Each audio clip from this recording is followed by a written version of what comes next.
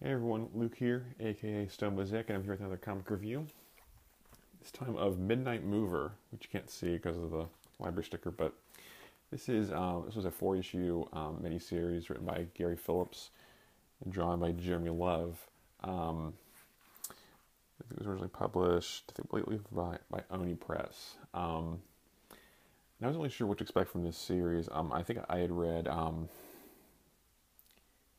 Read something else by Gary Phillips. I forget if I had um, reviewed that as well, but this wasn't really that great. This is sort of a crime story involving um, uh, a dead call girl escort. I'm not sure uh, what exactly, what term you would you'd uh, I want to call her, but her driver basically um, uh, gets involved in this uh, in this mystery where he's trying to evade the cops who believe that he killed her because because he he burst into the house where she was and she's on the bed, dead with a the knife in her chest. Um, and um, this story was only four issues long, but it felt a lot longer. I'm not sure if these were actually double-sized issues or something like that, but it, it felt really, really long. And um, there, a whole myriad of of, of, problems here. Um, um, you have the dialogue, which is just really, really bad. Um, a lot of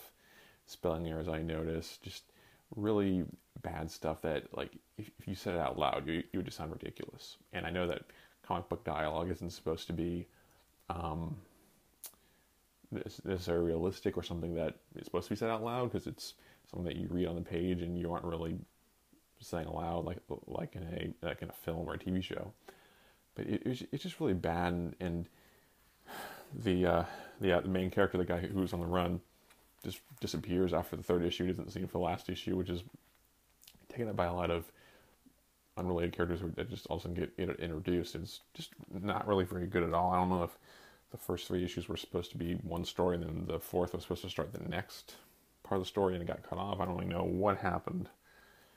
But uh, if if you actually wanted to read this book if what I'm saying hasn't really dissuaded you. The art is pretty good. The style is sort of similar to what uh, J Bone does with his art, kind of um, angular kind of style to it. So, so, that's probably the best, but it, it isn't really that interesting. Um, this is a uh, mature reader's book, so there's quite a few um, things in there about the adult film industry, some graphic stuff, and um, just but there's just so there's so much poor writing and not there's no real, real sort of development. It sort of goes it starts going one place, but after that that third issue, everything just sort of sort of just falls apart basically, and it's just isn't a very good book. So I'll probably give it. I'm forgetting uh, how many stars I'm giving. I I'll probably give it two out of five. It has good art, but it's not really good in any other respect not really that great.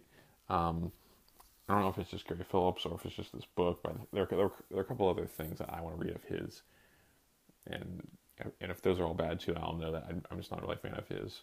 Apparently, he's he's a crime fiction writer, which is a genre that I like, but uh, I'm not liking what I've read so far of his. But I, I and I just can't think of the name of what the other what the other series was I read of his. I want to say that I read something, but anyway, enough of that.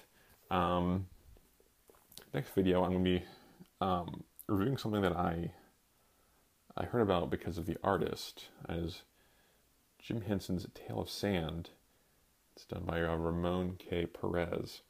And I saw this, this really interesting documentary to check out. It's on uh, the Raid Studio in uh, Toronto, which has a bunch of different artists like um, Ramon Perez, who I mentioned, Francis Manapul, who's on uh, Detective Comics right now, Marcus To, two, I forget, I forget exactly what, what, how you pronounce his name, um, and, a bunch of other artists working in the studio and, and shows their, their process, their camaraderie of you know, working together and sort of encouraging one another in their in their processes and you know, pushing themselves to, become better artists. And Ramon Perez was one of those artists, I saw some of his art featured there, and uh, I think it was mentioned that that's one of the things he he had um, that he had done, and so I checked out from the library, and that's going to be my next review. So hopefully I like that more than I liked uh, Midnight Mover. But uh, in the meantime, happy reading, everyone.